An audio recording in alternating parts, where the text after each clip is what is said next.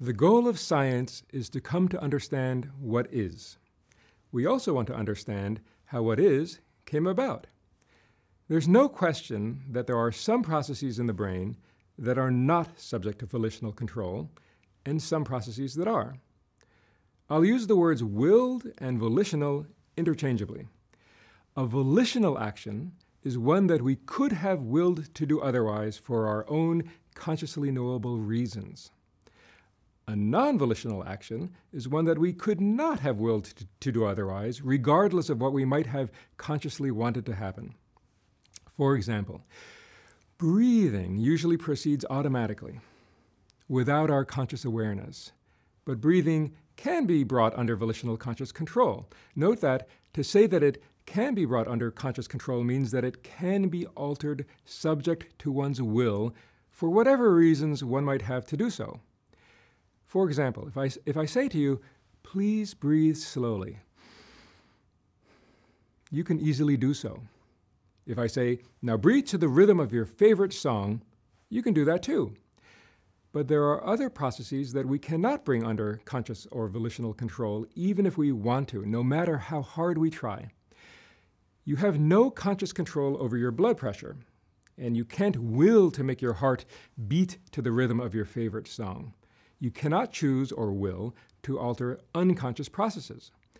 If you could, how would you even know that you had succeeded since we have no conscious access to unconscious processing? The vast majority of decisions and processes carried out in your brain and body are not subject to conscious volitional control. That's to say, they happen automatically and unconsciously, but a small subset are volitionally consciously controllable. What sets these volitional processes apart from the automatic ones? The eyes offer another good example. You cannot willingly stop making pupillary adjustments to light levels. Shine a bright light into your eyes, and your pupils will get smaller, no matter what you want or will to happen. Remove the light, and they'll get bigger again. However, the eyes also offer a good example of a case where you do have volitional control. Consider the large eye movements that you make when you look around the world. These are known as voluntary saccades. Indeed, where you will next move your eyes is a decision that you make three or four times a second, and this is a decision that you can volitionally regulate. The decision where to look next is probably the most common decision you make in your life. People make this class of voluntary decision thousands of times a day. For example, you can choose to look at trees, or people, or buildings, or really anything at all that your heart desires. You can even choose not to move your eyes at all, say if you're playing dead, or fixating on a fixation spot in an experiment in my lab. What we decide to look at next is not given by anything in the stimulus. It depends on factors in us such as what we might desire or what we maintain in working memory as our present goal. For example, the psychologist Alfred Yarbus showed people the painting An Unexpected Visitor by Ilya Repin from 1884. What people looked at depended on what task he gave them. If he told them to estimate the material circumstances of the family, they exhibited a sequence of saccades such as shown here. But if subjects were told to assess the ages of the characters, their eye movements were quite different. If he told them to determine the activities of the family prior to the visitor's arrival, their eye movements tended to look like this. And if he asked them to please remember the character's clothes, they tended to move their eyes around like this. And finally, if he asked them to surmise how long the unexpected visitor had been away, their pattern of eye movements again were optimized to carry out this new task.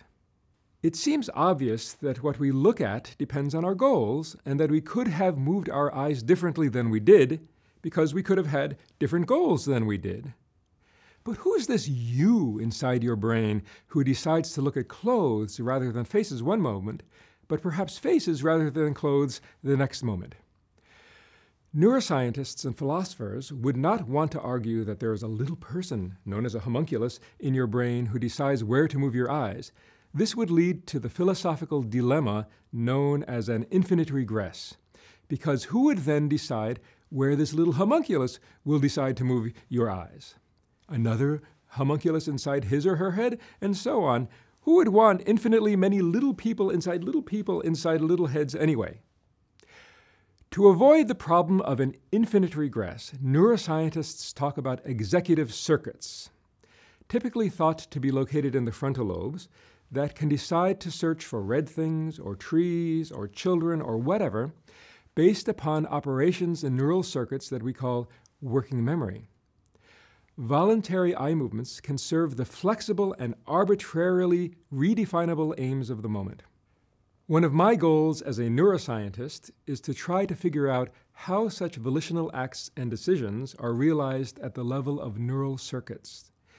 One of the major goals of this course is to understand how volitional decisions, such as where we choose to look next or where we choose to attend next, are carried out in the brain. A common move of philosophers who deny the existence of free will is to say, well, sure, there may appear to be a difference between non volitional and volitional eye movements or other decisions, but even the seemingly voluntary decisions that we make are not really voluntary because where we voluntarily choose to next move our eyes is itself a decision that was made unconsciously and automatically, not subject to our consciously knowable reasons.